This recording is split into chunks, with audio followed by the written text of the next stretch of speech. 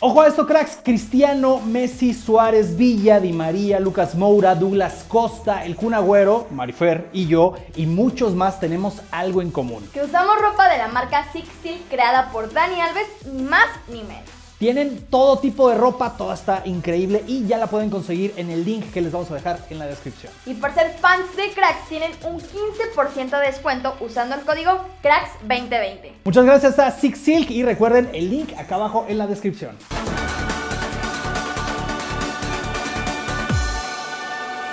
Se llegó el día. Zlatan Ibrahimovic y Cristiano Ronaldo se encontraron frente a frente en la semifinal de ida de la Copa Italiana, Milan contra Juve. Antes de este juego, el sueco y el portugués se habían enfrentado en 10 ocasiones entre equipos y selección. 5 ganó Cristiano, 4 empates y solo una victoria para Ibra. Dos de los tres máximos goleadores en activo se reencontraron en San Siro y esto pasó. Gracias a Buffon el primer tiempo terminó sin goles, pero en el segundo ante Rebic abrió el marcador. Al 71, segunda amarilla para Teo que deja al Milan con 10. Últimos instantes del partido y llega esta jugada polémica que el árbitro marca como penalti. ¿Ustedes cómo la ven? Cristiano cobra y empata el partido. El portugués llegó a 11 goles en sus últimos 7 partidos con la Juve. La semifinal queda abierta para la vuelta que se jugará el 4 de marzo en Turín. Ibra y Teo se perderán ese partido por acumulación de amarillas. Y en la semifinal de ida en la Copa del Rey, la Real Sociedad le pegó 2 por 1 al Mirandés.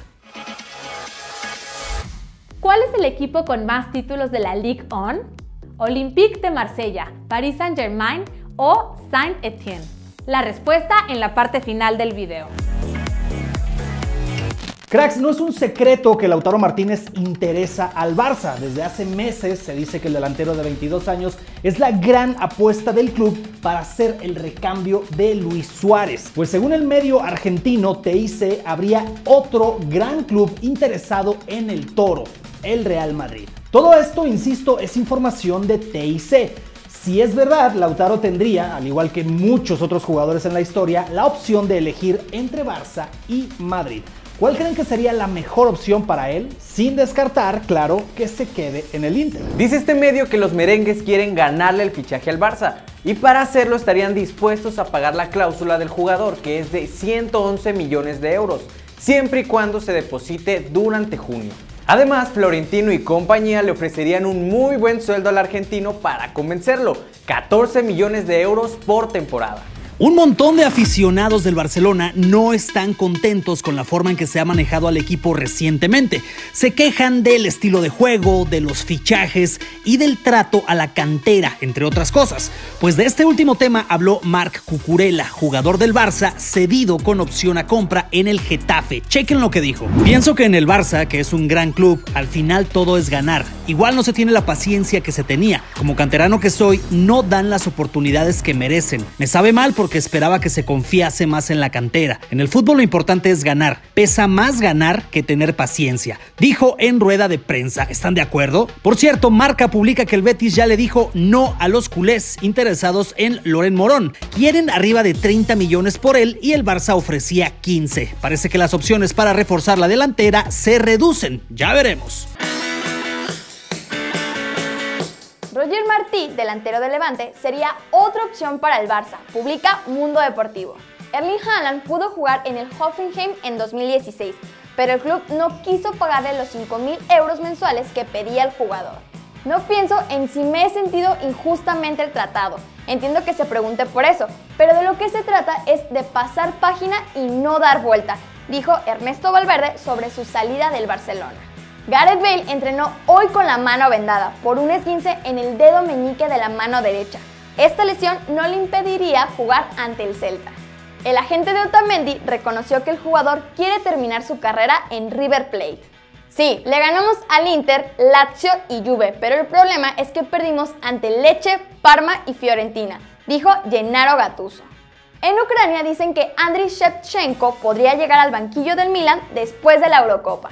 Marco Asensio compartió este video con el mensaje cada vez más cerca de volver.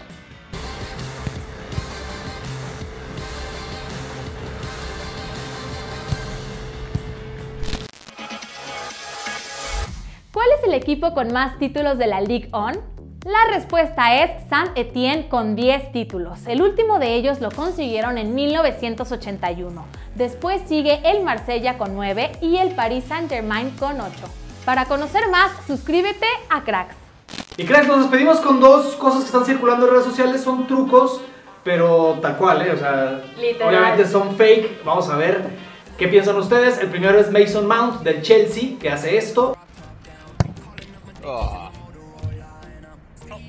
¿Qué te parece, Fer? Es impresionante, pero si se fijan en la nube se ve que se mueve y obviamente se ve que está truqueado. Pero Está, está editado. Y luego hay otro que ya había hecho Pogba, pero ahora lo hace Messi con latas de un refresco. Es este que estamos viendo. Que bueno, Messi es un mago en la cancha, pero no creo que tampoco le dé la magia como para hacer este tipo de cosas que se ven muy difíciles. Pero bueno, esto lo compartió Messi en sus redes sociales. Y por si no lo habían visto, este señor que tiene selfie con Zidane, pues resulta que iba el señor por la calle y Zidane llegó por atrás y lo chocó.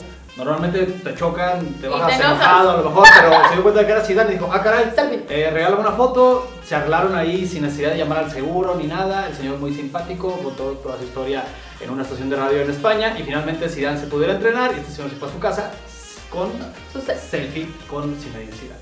Cracks, y si quieren adquirir estas bellezas de ropa, la verdad está muy padre, es un estilo Sí, muy diferente. Tienen muchísima variedad, ¿eh? O sea, si se meten a la Vaya. página, que los vamos a dejar acá en la descripción, tienen mucha Pero variedad, muchas. incluye pantalones, zapatos, gorras, un montón Para de cosas. mujer y para hombre. Sí, sí, sí, sí, importante. Y ya saben que tienen un 15% de descuento con el código CRACKS2020. El link se lo dejamos en la descripción. Acuérdense de seguirnos en todas nuestras redes sociales, de seguir a los canales hermanos de Cracks. Y nada, Fer, nosotros nos vemos. En el próximo video.